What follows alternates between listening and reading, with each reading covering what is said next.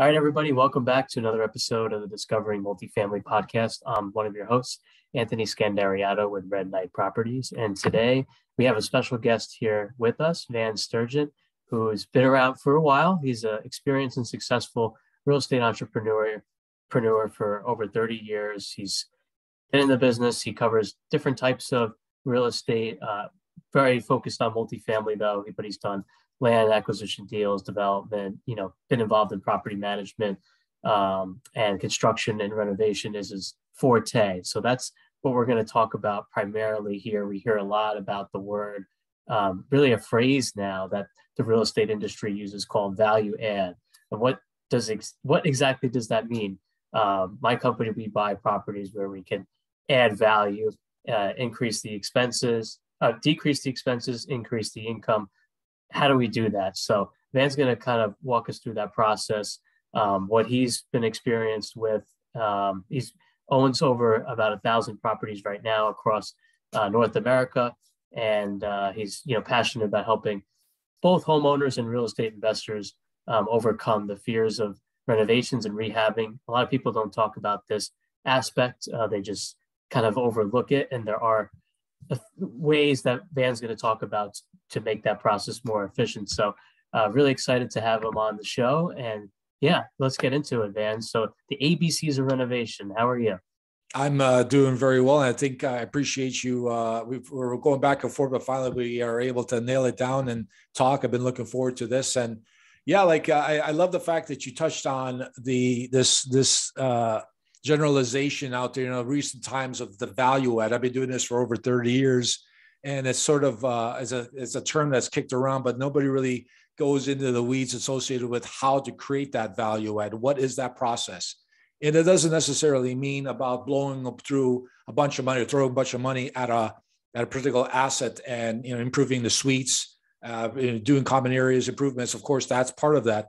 But also it could be something along the lines of taking a property and rejigging it in terms of uh, if there's excess land, redeveloping that, or could be uh, identifying a better property manager, creating efficiencies within that within that relationship where you're able to drive value, more value out of that property. So we, as a real estate investor, are constantly looking out for that. The, you know those ugly ducklings, you know those diamonds in the rough, where we can, whether it's in a single family or multifamily space, and and and typically uh, make an investment, throwing dollars at it to be able to raise dollars sufficient uh, sufficient dollars out of that value out of that. So I love talking about that process, and uh, I'm looking forward to the conversation. Yeah. So Van, uh, you primarily deal with multifamily, and so do we. What are some metrics you look at when you're, let's say, buying an existing Class C asset and you're trying to turn it into C plus or B minus or even B, um, and you're projecting rents and you're looking at costs and you're looking at what you want to do to the property in order to get those rents are there any what type of financial metrics do you use in order to see okay is my return on cost i guess that's probably one of them return on cost worth it in order for me to make these investments? Or should i say the hell with it i can get organically a 10% rent increase as opposed to i'll probably get 15 if i put 10 grand into this unit. That's not worth it. So what what are some of the things that you look at from that perspective? It, I love the fact that you brought that up because oftentimes I'm finding a lot of uh, real estate uh, investors on the multifamily side, syndicators. There's this, you know, this overheated real estate market that the margins are so tight in the uh, when we're acquiring these properties that sometimes you're just better off not doing anything and just keeping the status quo and get that 10% perhaps bump through organically versus you know, blowing your brains out on value add stuff, renovations and things of that nature. And then, you know, getting to a point where you're taking some risk associated with that investment. There is a process and system that I developed. I've literally done thousands of renovations, whether it's on my own properties. I got around right now, I got around 1200 or in relation to as a general contractor. That's how I got started in this business. My relationships with other prop, uh, other real estate investors, where I've done their, the, the, you know, the value add on their properties. It really, really boils down to there's a system and a process that needs to be implemented to be able to drive the best bang for your buck and really to drive the, the process forward to create uh, to create uh, meeting expectations and goals that you've established for that particular asset. So it starts really at the right from the get-go in establishing a clear goal associated with what it is that you're looking to accomplish within that, that value add. Oftentimes, as real estate investors, in particular in the single family home side, is this is a generalization just this generalized approach toward yeah we we're going to flip the property or we're going to raise rents but really isn't the point where an actual goal is spelled out associated with what we're looking to accomplish. So in a particular in a multifamily space typically we're looking to raise rents. And so that process i what i like to uh, engage people in is make sure like to identify exactly what it is that we're looking to raise rents by and then going out in the marketplace and validating it validate, validating it on a granular level what that mean like what i oftentimes we, we get caught up you know there's a lot of multiple things going on in that due diligence you know your number crunching phase associated with acquiring a property. And sometimes we just put generic numbers uh, toward that suite renovation. And and really not really fine tuning the numbers associated what it is exactly we're getting the biggest bang for our buck associated because we don't have unlimited dollars to throw at a project. So what i strongly encourage in engagements that i had with multifamily investors is to do a really in-depth market analysis associated with what it is that the triggers that we need to incorporate within our particular renovation value add to generate the positive results associated with the goals we've established right from the get-go. So if it is we're raising rents by a couple hundred dollars, $300 for example, we need to go on the marketplace and really see what those properties, comparable properties have that ours does not. And you might do that in the do, you know, in your in your underwriting due diligence phase. But I really want folks to go in there and and and look at comparable properties to see what it is that these properties have that your property does not. Smell the air. Look at the type of uh, paintwork there is, the type of flooring, the kitchens, the bathrooms, all of these types of things, the common area uh, areas, you know, the feelings you got, the lighting all these elements you need to bring into your property to be able to uh, actually get to the point where you're validating a goal to be able to get to that goal and projections you have. And sometimes in that process, you you can find out some real nuggets. I I've had some interactions with folks where they've been able through that process where I help them, they've been able to figure out that they don't have to blow their brains out on granite countertops of two three thousand dollars per suite. Uh, they can go around and get by with 500 600 dollar backsplash and there's a savings right there over course of 20, 30 units. That's significant dollars. But once you've gone through that process, you really have an understanding of what it is you're looking to, to do through uh, for that for that asset in terms of that value add. Then then you move on to uh, there's a process and really ultimately that process is then uh, really assessing your property and creating a needs and wants list. Um, and what that for me, what that means is that we go through and do an inventory of the property and on that big old list, we have one column that identifies needs, things that we have to do. So if there's a hole in the roof, there's a hole, there's a pothole in the driveway, those are things that need to be addressed right away because it could cause harm to the structure or to the individuals, you know, the walking around. But then there's a want side where if there's monies toward our budget, that we put toward those types of improvements. So as much as we might hate the, you know, that lime green carpet from the 1980s that's in the, you know, in the common area uh, hallways, if it's still serviceable, that's a want side that that's a want item that we put on that. If we have the dollars we'll be, we'll address but if we don't we're going to go after other items that will deliver the highest roi so we take care of the needs but then we go into the wants. And that's where the experiences associated with you know being involved in this business for so so many years i can i really i, I can immediately tell what are the things that will do will hit certain you know will, will drive the, the best bang for your buck you know, things like uh, uh, exterior improvements associated with landscaping, uh, a coating of the parking uh, area, restriping it, uh, painting windows and doors. You know, those are some of the topical cosmetic improvements that you can do that will deliver the highest ROI if you have a limited budget. It's obvious, and of course, Anthony, that if we had you know fifteen twenty thousand dollars to pour into each individual suite improvement that you will raise rents. But sometimes our budgets don't allow to do that. So you have to really be strategic in what are the things that will drive the highest dollars get the best bang for your buck. And i help folks uh, go through that processes to be able to uh, make sure that they identify those items that deliver the best bang. So typically would be exterior stuff for example yeah, no, that, that makes a lot of sense. And when sponsors are underwriting, they're going through their underwriting process, they're not really getting bids from contractors, or they think that their maintenance technician is just going to be able to do it all. And that's usually not the case sometimes. cer- certain things. Um, and what are some ways sponsors can really do almost more due diligence? I mean, you know, you have a limited time to do due diligence as a sponsor. Typically, it's 30 days, 45 days. Sometimes it's even less now because the market's very competitive. So, what's what are some ways we can be more efficient as real estate investors during that period to really understand what our costs are going to be? And like you said, you know, there may be you, you, we're usually not working off of unlimited funds or a large budget. Um, and sometimes the area doesn't call for top of the line finishes or the comps don't call for top of the line, but you you pro- projected that.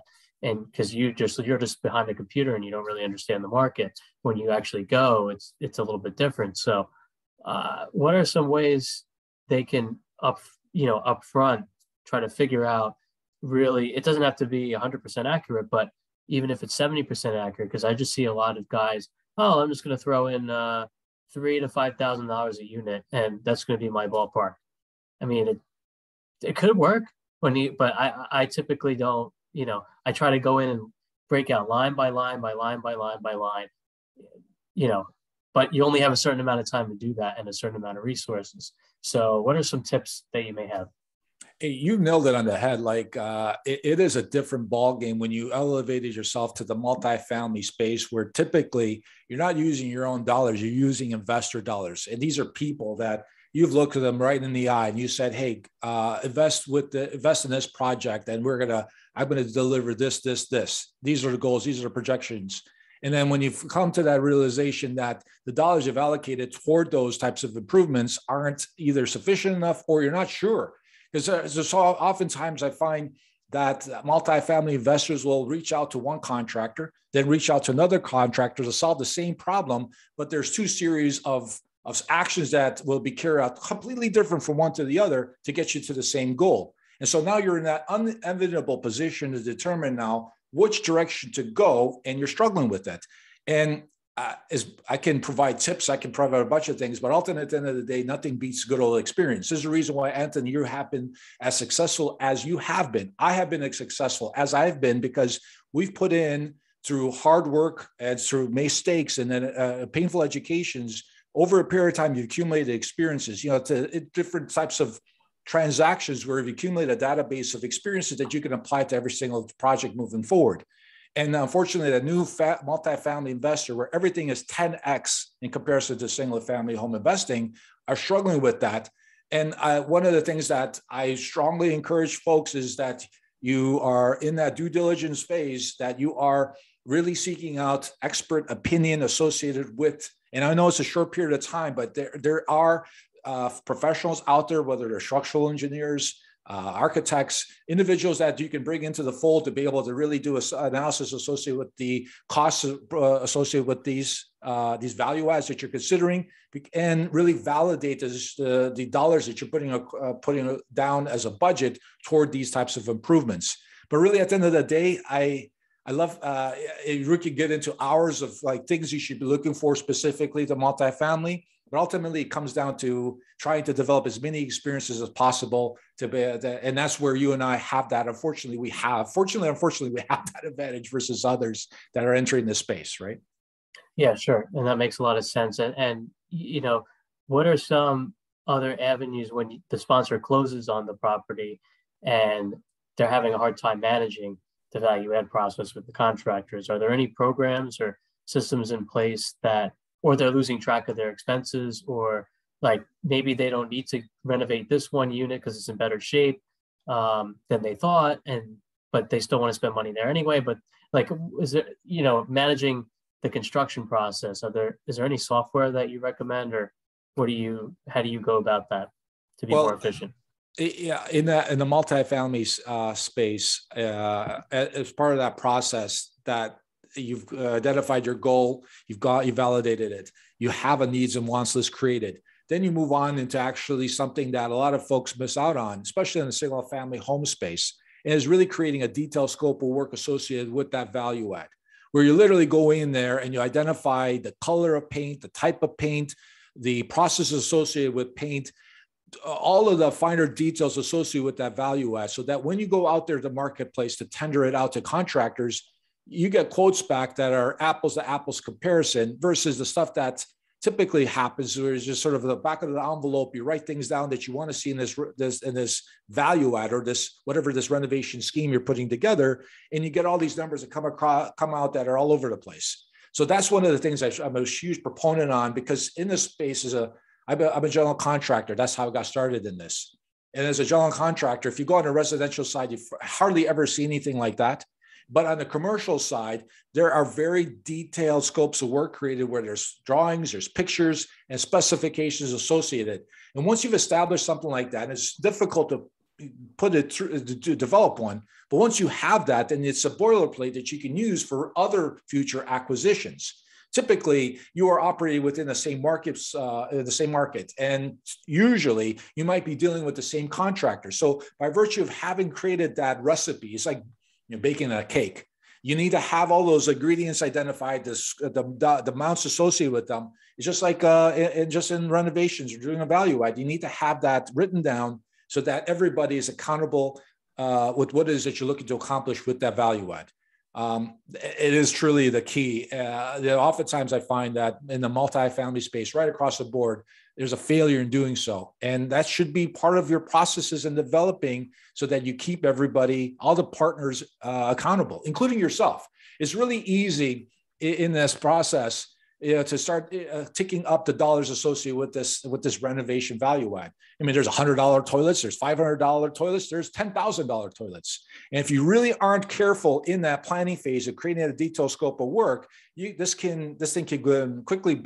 You can quickly over renovate and blow your budgets, and all of a sudden you have uh, you know you've got a what's that called a whale and then you got you got a problem on your hands right? Because you've got these investors expecting certain dollars that are going to be derived from this value add. And you kind of and it's nothing worse than having to go back to investors say please give me more money. We all want to avoid that right? Oh absolutely. Yeah. But i unfortunately i've seen that happen before uh, particularly with over improving or oh i'll spend you know $20000 on this unit. Our budget's 5000 for every unit I don't think I need to do every unit. So I might overspend on maybe a few. And then you realize quickly it's like, you know, actually the other units need to be done too. Not $20,000 worth of improvements, maybe six, seven.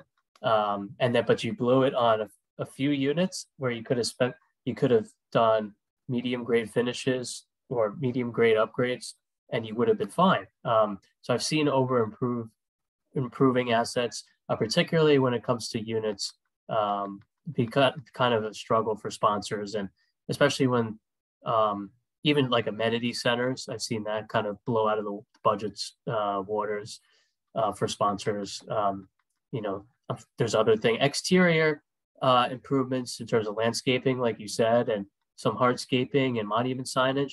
We have stuff that we do, and to be honest, it's very inexpensive, and it can change the whole dynamic of your property. And um, typically when we renovate or we go into a new project, we're starting with the exteriors because that's that's the perception of your property. Um, and that's how when your tenants first come up on site, if there's trash everywhere and the building's you know a crappy brown poop stain color and there's graffiti, they're just going to walk out. They're not even going to see the unit. So we usually start with the exterior. And like you said, there's certain little things you could do to, you know, clean it up from the beginning. Um, but when I see I see a lot of sponsors go a little bit over the top and they over improve when it's really not necessary, and they don't get the rent bumps that they think they get the rent bumps they thought they were going to get, but it's eaten away because they're spending more money on capex. It is horrible. I've seen so many times, like you just mentioned, uh, properties, C class properties, where uh, hundreds of thousands of dollars are uh, poured into suite improvements and common area, and, and, all of a sudden you've got this uh, you got this beautifully renovated property. But as much as you might pump money into it, a C class property, sometimes if you don't have the pools and the amenities and all that kind of stuff, you can blow your brains out as much as you want in renovating, unless you got uh, able to figure out how to shoehorn a, a swimming pool in, a fitness center, or expand that unit from 700 to 1,200 square feet I don't care which how much money money you spend, you're not going to be able to drive the rent up to that dollar value that you're looking for in your goals and projections. And so many times you find that in these inexperienced syndicators, investors that walk in, they, uh, they just set aside a arbitrary dollar amount, $5,000, $7,000 towards suite improvements without actually going in and doing a real detailed market analysis. What is it that we're looking to accomplish with this property and what is realistic? As much as I might want to have lots of money, the unlimited sums of money to throw into some things, it doesn't necessarily mean that you're going to get to the end goal projection. So uh, and that's I find that often uh, that is the uh, that is the issue. That's a problem. Yeah, I agree. Um, and so basically, what you're saying is it comes down to experience and knowing what to look for, knowing how to deal with contractors, knowing you know who the good contractors are, and hopefully you're growing within the area where you started in. Sometimes that's not always the case, but like you said, I think the key you're mentioning is a template.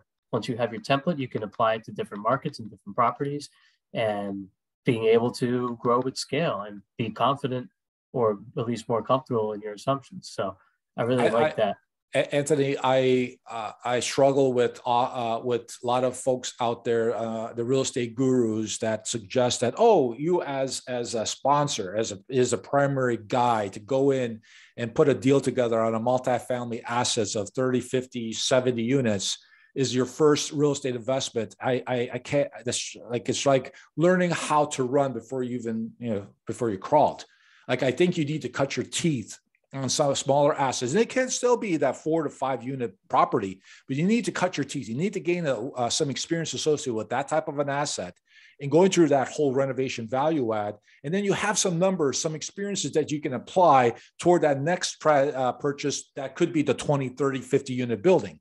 If you don't have that basis of experience, it's awfully hard unless unless you rely on an expert, somebody that can coach you or mentor you, a consultant that can step in that can guide you through that. Unless you have that experience, you're up uh, you're up a river without a without a paddle. I believe because there's so many multiple moving parts during that due diligence phase and and you're closing a property from engineers structural all that stuff going on and you got to verify rents you got there's a lot of stuff going on and you can slip up and if you don't have that experience um, yeah so that's why i strongly encourage people start on that single family home slash little small multifamily cut your teeth on it and then move up to the big show and multifamily is 10x, baby. It's it's multiple things you better be aware of, or if not, you're gonna you're talking about hundreds of thousands of dollars. And nothing worse than staring at an investor saying, "Whoops, I need more money from you," or "Whoops, I, I you know we're not going to hit goals," or "We're not going to be able to meet disbursements